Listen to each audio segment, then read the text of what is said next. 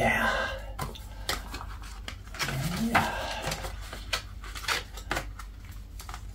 Four, five, six, seven, eight, one, two, four, nine, eight, seven, two, two, one, six, three.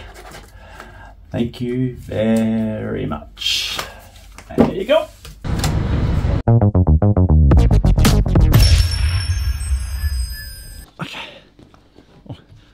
Making sure I've still got my wallet.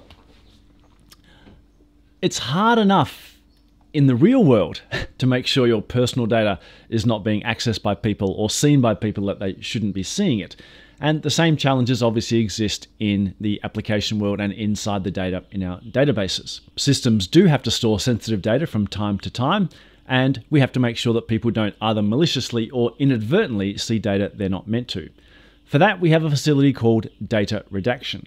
This video is not about an introduction to data redaction. You can check that out via the link up there somewhere or up there. This is more about the good stuff that's come in 23AI that makes data redaction a much more compelling solution for your business. Data redaction has always been sort of a, a good versus evil sort of compromise. We want to make sure the systems that store data can use that data and they can be have good functionality and satisfy business requirements. But at the same time, we want to make sure that no one can see or exploit data that they shouldn't be seeing. Now, that sounds straightforward, but in reality, it can be non trivial if I'm hiding, say, the salary for someone's employment table. Well, obviously, I don't want to see an individual salary, but does should I still be allowed to see the total salary for a department? Maybe the whole company? Should I get access to things like the median or the average? These are discussions that you know need to satisfy business requirements. In 19C and all releases up until now, we've generally erred very, very strongly on the side of caution we don't want to allow any possibility that maybe redacted data could be seen.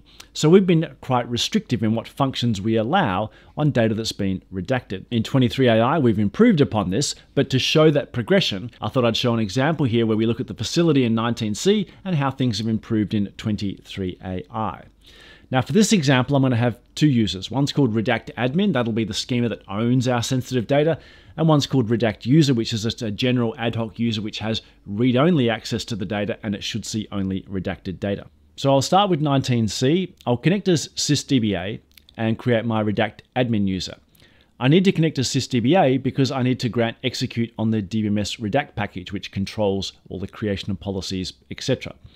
Now I'll create my redact user schema and give him create session because he's just going to do queries. I'll now connect as redact admin and create the emp table. It's just going to be a copy of scott.emp. That's the table that's going to have some redaction policies on it. For this demo, I want to make sure that no one can see the employee name and their salary. I'm going to have two redaction policies to do this. First, I'll use add policy in order to create a nullify rule on the salary. That will make sure that no one can see the salary. Then I'm going to go alter that policy and add in the employee name as well. In this case, we're going to use randomize to randomize out that data. People familiar with DBMS Redact will know I've made that very common mistake because I've just gone with expression 1 equals 1, I've of course redacted it from myself as well. So even now I'm logged on as redact admin, if I query the employee table, you can see, yep, the employee name has been redacted and the salary has been nulled out as well. That's probably not what I want, so let me go change that policy now. I'll alter it such that I'll add an expression for who's connected. In this case, when the session user is not myself, redact admin, then what'll happen is anyone else will have redacted data, but I'll still be able to see it. So having done that, now I can validate that, yep, I can now see the data as it was meant to be seen. But if I now connect as the redact user account, I can no longer see the employee name and salary as I expected. Now that all seems fine so far, but under the covers, the moment I've put those redaction policies on, some restrictions have been introduced. If I reconnect now as Redact admin and I want to expand, for example, my application or my database, let's see what happens. Maybe I want to add a virtual column. Well, unfortunately, that's blocked. Maybe, for performance reasons, I want to add a function-based index on the employee name column. Nope, that's blocked as well. Maybe there's some optimizer challenges, so I need to add some extended statistics on one of the redacted columns. I can't do that either.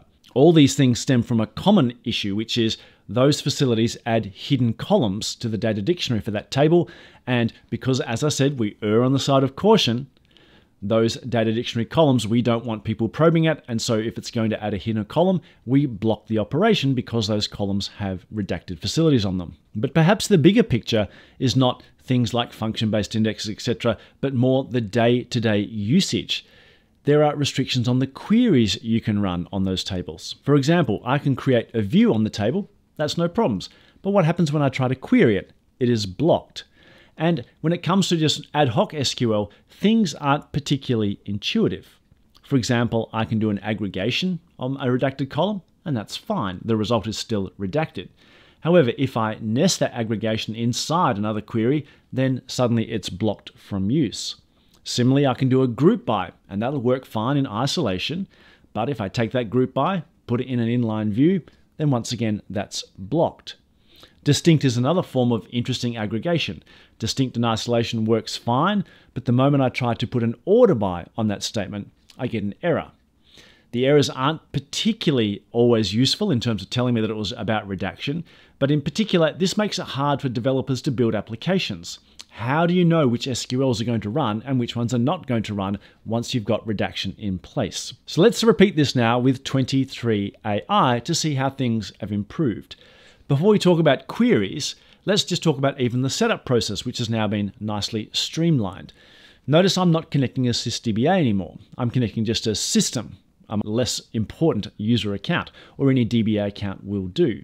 The reason I can do that is we now have introduced a new privilege to control redaction. That's all I have to grant to the Redact admin user. For my Redact user account, notice I'm taking advantage of another cool little 23AI feature, the schema level privilege. That'll give me access to everything in the Redact admin schema as opposed to doing it for each individual object. Now I'll go ahead and create the emp table as the Redact admin user, and I'll go ahead and add the two policies as I was doing in the 19C example. But there's an important thing to note here. The first edition works fine. I've gone and I've nullified the salary column as before. When I come to add my second redaction API call, notice I get an error. That's actually a correction to a previous mistake in our API.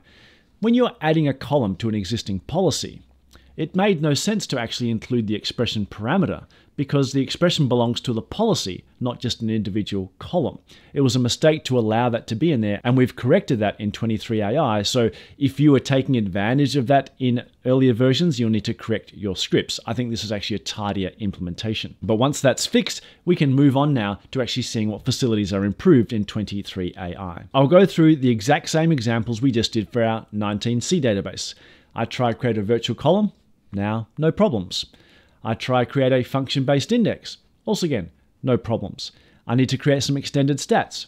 No problems there as well. A lot of the restrictions have been lifted in 23AI, which makes life easier for application developers. In 19C, I could create a view, but I was unable to use it. In 23AI, yes, I can create the view still, but now I can use it. And notice, importantly, the data results still are redacted, so I'm not bypassing any security issues here. Now I'll connect as my Redact user and explore some of those problematic queries we saw before. I can query the view, and that works fine, and I'm still getting redacted data. I can do the aggregations that I could do before, but notice now when I go ahead and take those aggregations and use them in more complicated statements like nesting them in inline views, then that works fine as well. My aggregation works by nesting.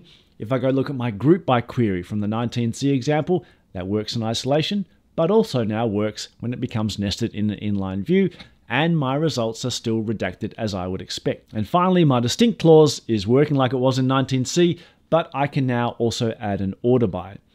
Now, these particular examples aren't special. It's more the fact that what we've tried to do is make data redaction not a imposition on the element of building applications for your database. We should hopefully always be able to have redaction almost as if no one's aware that it's there, yet it still protects your systems from showing data that they perhaps should not be showing to general customers. I should note, this is not me saying that you just throwing on redaction is instantaneous security of your sensitive data. Be aware, redaction is about the rendering of data, bringing data out to the outside world. If people have just generic ad hoc query access to your tables, then using where clause predicates, they could use effectively uh, like a binary chop method to slowly hone in on what real data might be, even if it's redacted from their view. So be aware Redaction is predominantly about applications that have a fixed set of queries and users do not have generic ad hoc query access. But the nice thing in 23AI is now that data redaction should no longer be an imposition when it comes to building applications to sit on top of your sensitive data.